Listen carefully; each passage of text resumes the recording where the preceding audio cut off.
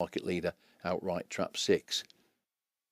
Off they go uh, towards the first bend, and one missed it completely. So two gets a good start. Five out wide, paces up well. Then three, six also a poor start.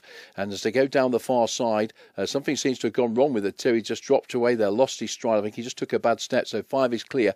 Now six, Macreevy is into second. Uh, two now consents to run again. Then three and one. But the front two have flown. It's five from six. Five is holding on nicely here from six and one. He's finishing well from the back. Five in front. Look at this one go. Oh, one might chip